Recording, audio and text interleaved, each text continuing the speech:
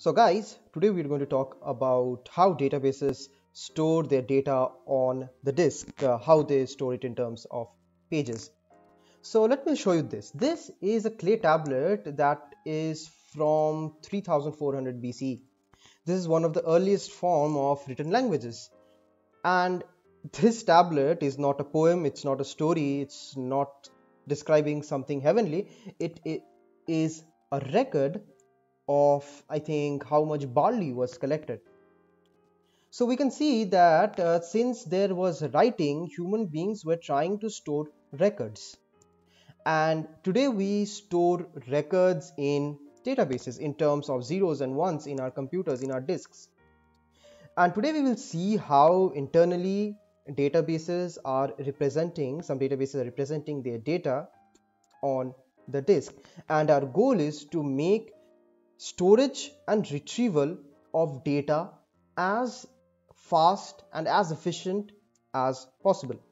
So, what is the problem that we have on our hands? We have tabular data, let's say, and we want to store it on the disk. And uh, we want that the writing is very fast. And we also want that if I want, let's say, just this row, that uh, the ID is 3 and I just want this row, then I can get that row of data quite fast. Um, so how can we think about the data structure? How can we think about um, a storage scheme, let's say, on the disk with which we can accomplish and move forward in solving this problem. So what is a database page?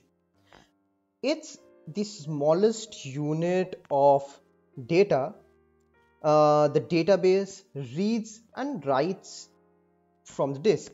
So let's say the database page size is 16 kilobytes. So at once did the database will read the page, uh, read 16 kilobytes from the disk or write 16 kilobytes to the disk. It cannot read 8 kilobytes, it cannot read 18 kilobytes.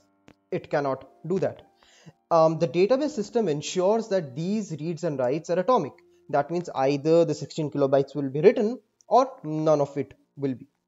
And our job as database designers and the scope of this video is to understand how these pages are organized or how data inside these pages are organized so that we get the maximum efficiency out of it. For now, let's assume that we want to store data of something like this table.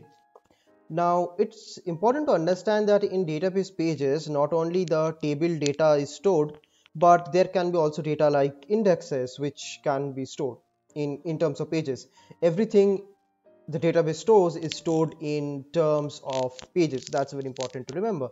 So what happens is that we have a big file, something like this, and it's filled with these pages, right? So there are many pages that are there in that file and the database system seeks this file and let's say that it wants this page so it just starts reading from here and it will read up to whatever the page size is. Let's say 16 kilobytes so it will read 16 kilobytes from here. And each of these pages is identified by a page id so let's say this has the page id of 1 this has page id 2 and so on and so forth. And in each page we are trying to store these tuples. Tuples meaning um, each the data of each row. Now it's not always that this tuple data is being stored. As i told you there might be indexes. In some databases not the tuples are stored. I mean not the row data is stored one by one but the column data is stored uh, one by one. So sometimes it's row wise sometimes is column wise. How can we store this data in the pages? Right? That is the question that we're trying to answer.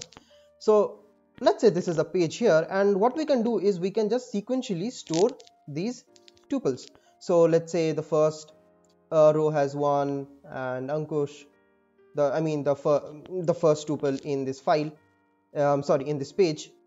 The second has two Magnus. We are just writing out the tuple data on the page. And the third one has 311 and so on and so forth. Now what can be the problem of systems like this? Here if we want to write the sequence uh, the tuple sequentially each tuple must have the same same amount of space. I mean it must be of the same length all the tuples. Because if we don't know the length of the tuple then how do we know that when one tuple ends and when another tuple starts right? That's not really possible for us to know. And also guys see let's say we take a large value we take the largest tuple in our database um, really in a practical approach and we pad the other data. So let's say 11 has one letter less from the first two names. So there would be slight of padding and we know that we know what is the fixed size of the tuple now we want to read and we can read but this padding is the waste of space and we don't want to waste space space on the disk. The disk space costs us a lot of money. So this is the problem. So that's why we cannot just store all the tuples sequentially. At this point to solve this problem the concept of slotted pages come. So in a slotted page structure we are trying to avoid the problems that we had in the previous model so how is a slotted page how is data inside a slotted page organized? How are tuples written inside it? So in a slotted page first there is a fixed length header. So let me write h here. Um, which contains information like how many tuples are there and some information about recovery and stuff. We'll not go much into that. It also contains something called a free space pointer which which uh, at which i'll come to later. So in the slotted page we don't store tuples from the beginning instead we store them from the end so t1 t2 something like this and you can see that these tuples are of variable length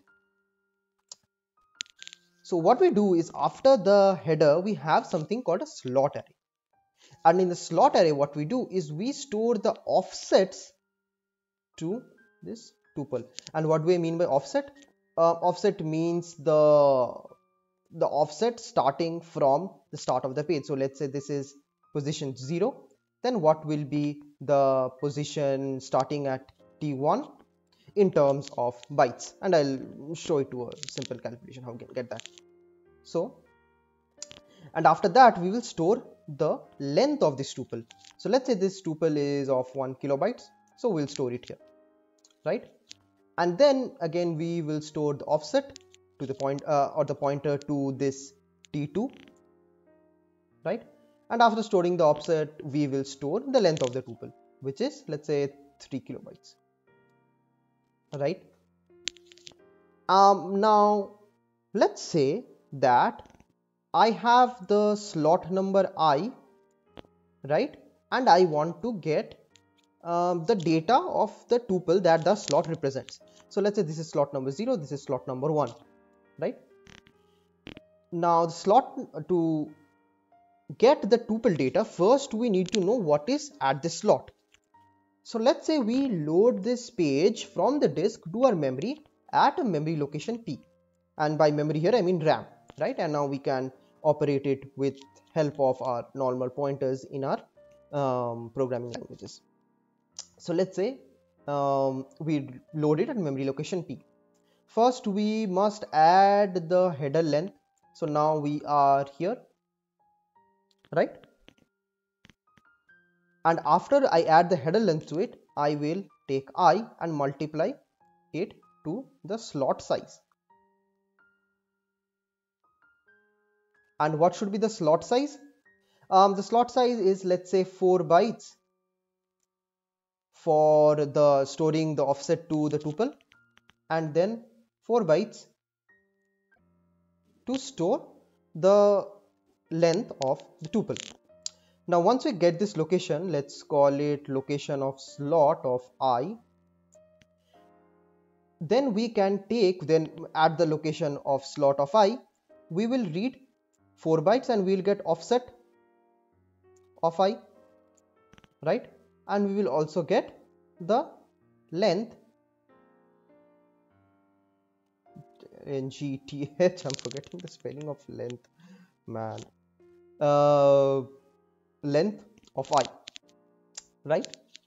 So now we will take p plus offset. Let me just say oi and from here we will reach at this location. Um, assuming i is equals to 0 for t1 right? And from this location we will read this length of i number of bytes. We take that we convert it into the tuple data to the data format that we have. So let's say my tuple is something like this right? Let's say my tuple is something like this where the first the first column is an integer. So it will take let's say 4 bytes and the rest is a string. Right? So in terms of that we will just uh, take the take out the data and we'll parse that data and we'll give results to the user. Now you will notice one thing here that in a slotted page the slots array grows from the first and the tuple data grows from the last right? So both the tuple data and the slot array is coming towards each other. And when they will meet we will see that we have no space left. And then we will have to create a new page and store our data there. Now i talked about the free space pointer. What is a free space pointer? So the free space pointer points to the location where my free space is available. So let's say um, we have got some more tuples here. So t3 is here t4 is here right the free space pointer will store this location where we can when when we get a new tuple to store in the page we can we can first read this page from the disk. We can go to this offset pointed by the free space pointer. We can go to this offset um, write the new tuple in this uh, page memory and then we take the page and write it back to the disk right? So that is how we can write new tuples. Now let's say I want to delete a tuple. Let's say I want to delete this tuple number one. What I do what uh, sometimes we generally do is we come here and we just uh, mark this slot to be deleted. So let's say we store it minus one and minus one here. So we mark this slot as deleted. We don't actually go and delete this t2 here at first now there are some databases which actually do delete the the data at their once at once um, when we are writing the data back to the disk. Um, and there are some databases which don't uh, delete the data then and there but then we can do something like vacuuming to actually delete the data from the disk. And postgres um, really famous relational database does this. They don't actually delete the data. They just mark that slot to be deleted and then when we do vacuum we, there is a command in postgres called vacuum. Then what they do is they delete this t2 actually from the page and they take t3 and move it back here. So they take all the all the tuples and move it back to back so to not waste any space. And this is called compaction. Now we can see that each tuple right or each row in the database in our case can be um, located with two coordinates right? First we need the page id right? In which page it is stored. And next we need the slot id so these two values combined can locate a tuple exactly on a disk. And this kind this is kind of used as a pointer. We may call it as a row id right? There can be other names too and uh, this row id can actually suffice as a pointer when we will talk about something like indexing where we need to point to an exact record. Uh, indexing is out of scope of this video. We will maybe talk about it in a later one. So what you need to do is hit that subscribe button man hit that subscribe button. Now let's say in this page we want to store a large amount of data which let's exceeds the page size. It exceeds 16 kilobytes something like that right so what we do here is we take a pointer from this page and we point it to another page which we call overflow page and we store it to and store our data there. And we may take another pointer from there and store and to another page where we might keep on storing our pages uh, storing our data in pages. Sometimes some databases even store data in external files. These are generally called external tables in oracle there is this BFILE um, data type which i think stores data in a external file not in the database files. And stuff happens like that to store large data to store all these to face all these corner cases that comes up in enterprise applications hmm, and all those things. So let's now go to Postgres and see some row IDs in action, how Postgres is telling us where the rows that we created the table with is stored. So in Postgres, if we execute commands like, uh, I mean queries like select CTID from some table, so CTID is kind of the row ID in case of Postgres it actually means the physical location of the of, of the row so here we can see the it says 0 comma 1 0 comma 2 i'm not sure if you can see it because it's quite small. Uh, you might have to pause and see uh, a bit. So it says 0 1 0 2 0 3 0 4 so that means that row is stored in the zeroth page and in the fourth slot or the fourth tuple of the zeroth page. Right? That's what we have here. So let's try to delete something from this table so let's say let me delete let delete uh, from one call where c1 is equal to 4 right? Let's execute this right? One row is deleted. And we, when we come back we will see that actually um, that row when it's deleted but the other row still has the same CTID. So that means when that row gets deleted the other rows um, are not moved around right? They are in the same place but we are marking that um, tuple to be deleted from that page. So guys i think that would be enough for this video. It's a small introduction on slotted pages. If you like this video leave a like. I mean i don't like i hate begging for likes and subscription at the end of the every video but well we have to do what needs to be done. So guys leave a like. And if you want more content like this subscribe to the channel. And uh, we will see you in the next one